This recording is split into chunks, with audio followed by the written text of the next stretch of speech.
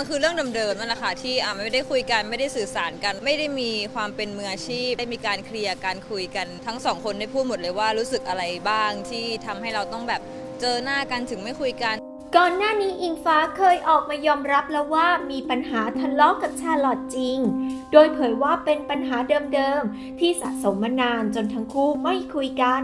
ทำให้บรรยากาศการทำงานตึงใส่กันจนหลายคนจับสังเกตได้ ล่าสุดชลอตเปิดใจว่าได้เข้าห้องดำเคลียร์ใจอิงฟ้าแล้ว จริงๆมันคือเรื่องเดิมๆนั่นแหละค่ะที่อะไม่ได้คุยกันไม่ได้สื่อสารกัน แล้วก็ถ้าพูดตรงๆก็คือ ไม่ได้มีความเป็นมืออาชีพในในการแบบท่านะตอนนั้นเวลานั้นอะไรอย่างเงี้ยซึ่งเราพอเราได้คุยเราก็เลยเข้าใจได้ว่าอ๋อมันคือเรื่องที่มันถูกสะสมมาของแต่ละคน แล้วมันไม่ได้มีโอกาสได้ได้พูดกันเอง หรือว่าพูดกับทางผู้ใหญ่ ซึ่งวันนั้นก็ได้มีการ เขาเรียกว่าเข้าห้องดำไปกับทางผู้ใหญ่ด้วย แล้วก็ได้มีการเคลียร์การคุยกันเเรียบร้อยค่ะก็ก็ดีขึ้น ซึ่งเราสองคนก็ต้องปรับ เพราะว่าต้องทำงานกันไปอีกยาวเนี่ยจะมีซีรีส์หยดฝนกลิ่นสนิมอีก แล้วก็ยังอยู่ในองค์กรอีกเพราะฉะนั้นเนี่ยอยู่ให้มวลให้มันเป็นแบบมวลความสุขดีกว่าความอึดอัดค่ะก็เคลียร์กันในห้องดำวันนั้นเลยค่ะ แล้วก็มีการแบบว่าหลังจากวันนั้นสักสองสามวันก็ได้มีแบบคุยในไลน์ด้วยเหมือนกัน แต่ว่าไม่ได้คุยเรื่องเรื่องนี้นะคะหมายถึงหมายถึงว่าคุยเรื่องแบบจิบวิปาถะทั่วไปอะไรอย่างเงี้ย ทั้งสองคนได้พูดหมดเลยว่ารู้สึกอะไรบ้างที่ทำให้เราต้องแบบเจอหน้ากันถึงไม่คุยกัน แต่ทำไมคนอื่นกับเจอหน้ากันแล้วคุยได้คือเราทุกอย่างคือเหมือนเป็นการได้แบบระบายทั้งคู่ โดยที่เราก็แบบโอเค ให้มันเก็บไว้ในห้องนี้ไม่มีการเอาไปแบบโกรธหรือน้อยหรืออะไรต่อ คือทางผู้ใหญ่ก็ได้เห็นด้วยได้รับรู้ด้วย แล้วก็ได้ช่วยกันแบบแก้ปัญหาด้วย คือจริงๆก็ไม่คิดว่ามันจะใหญ่ขนาดนี้อะไรอย่างเงี้ยสบายใจค่ะ แล้วก็มันทำให้เราได้สองคนได้ย้อนกลับไปเห็นภาพได้ว่าอ๋อจริง ๆ แล้วมันมัน เป็นแบบที่หลาย ๆ คนได้ได้พูดจริง ๆ นั่นแหละว่ามันไม่มีความเป็นมืออาชีพในการเอ่อออกงานคู่กันเลยอะไรอย่างเงี้ยอืมอะไรที่มันหนักก็วางเอาไว้ แต่พออยู่หน้ากล้องคือมันต้องมันคือการทำงานอย่างมืออาชีพค่ะไม่กดดันแล้วค่ะ คือปล่อยตามธรรมชาติปล่อยสบายปล่อยฟรีเลยค่ะใช่ก็อยู่กันเป็นอิงลอดที่ทำให้ทุกคนแบบมีความสุขละกัน เพราะว่าที่ผ่านมาก็ผ่านอะไรแบบไม่ดีมาเยอะค่ะ ถ้าเรากลัวไหมคนจะมองว่าอินหลักมันไม่เป็นที่เขาคาดหวังไว้ว่าจะต้องสนิทกันว่าจะต้องแบบ โอ้ย